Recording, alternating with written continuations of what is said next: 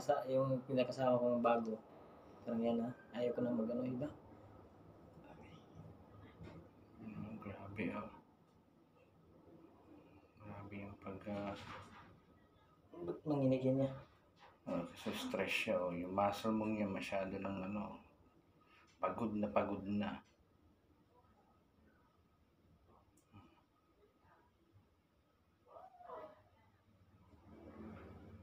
Nagbabasa ka ba ng katawan kapag ka pagod? Minsan. Hindi may iwasan eh. Lalo sa probinsya. Oo. Lalo sa Hindi. probinsya niya. Nanginig oh. Hindi mapigilan eh. Grabe. Hindi mapigilan oh.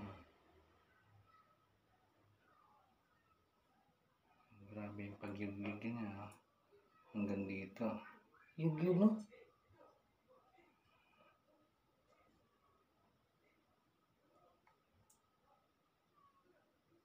Hindi mo. Hmm, hindi mapigilan. Hmm.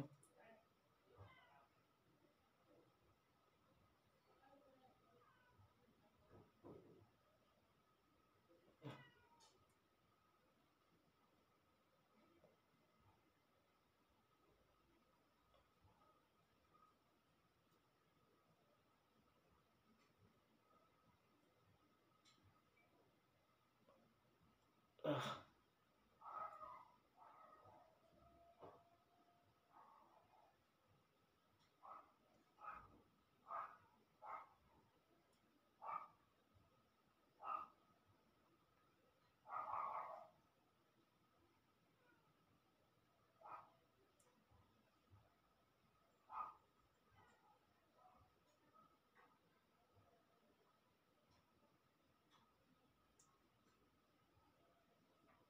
Diba? Nanginig oh. Tumigo. Hindi mo pigilan.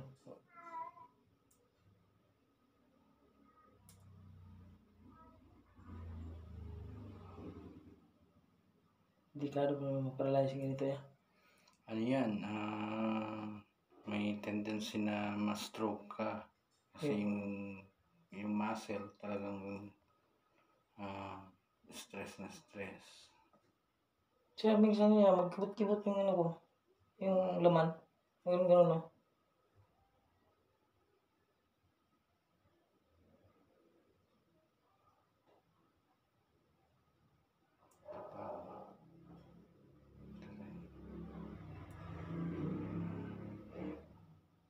Hmm. Nanginig siya pa hanggang dulo ko.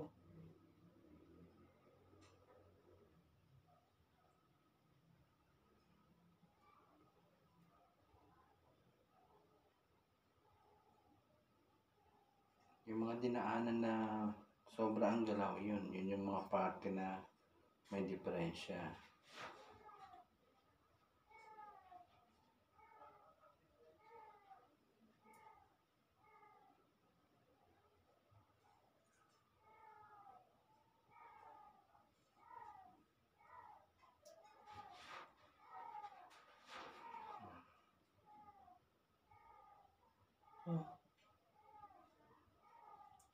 sofreu.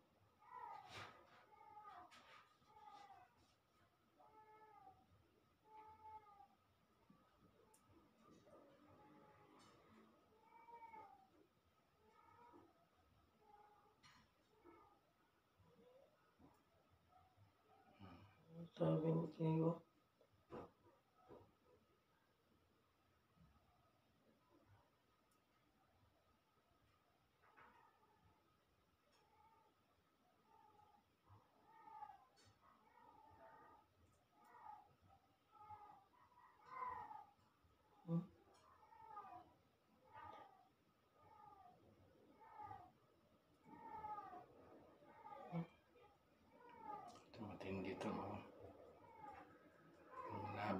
siya.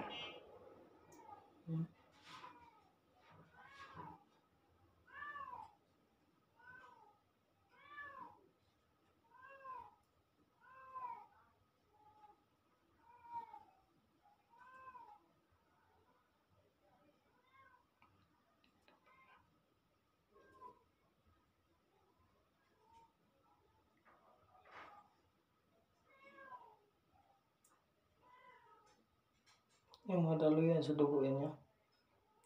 Ah, kaya nga hindi maganda yung blood circulation mo dahil ganito. Oh. Ano yung muscle mo talaga. Kumbaga kasi yung muscle natin, mga hibla ng sinulid dyan. Hmm. Ah, buhol-buhol na siya kaya yan ganyan. Yan. Kaya yung ah, blood circulation mo, hindi maganda na yung takbo. Kaya karaniwan, yun, yung mga stroke. Yan, dyan na ang gagaling. Dyan ang umpisa. mga ibang pasyente mo ganyan sa akin. Mm. May mga ganto rin. Yan. Pero yung mga ganto kasi yan, oh, mga sobra yan. Pagod na. Oo. Oh, hindi ano. Grabe.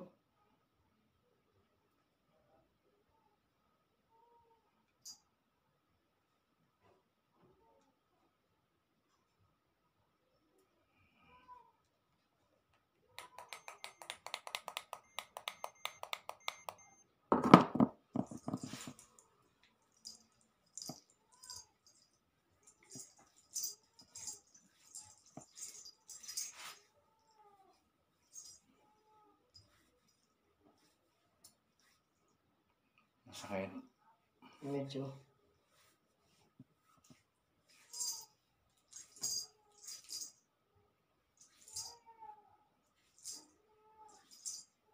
May tendency ako mag, uh, mag ano, bigla, bigla siya mag galaw-galaw. Mm.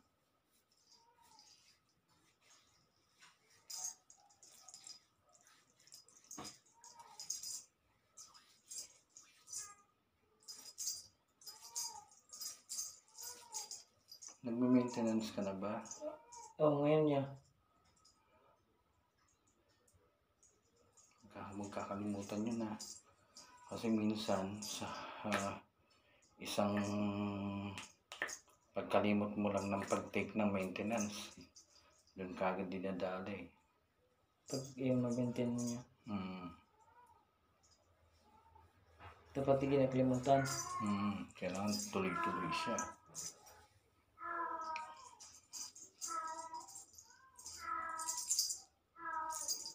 Nakaisang bisis kasi ako nagpa-BP, 150. Taas yun. Pero pag normal na 120 lang talaga. Mm. Depende sa edad. Pero sa edad mo, 36. yun talaga ang ah, normal, 120.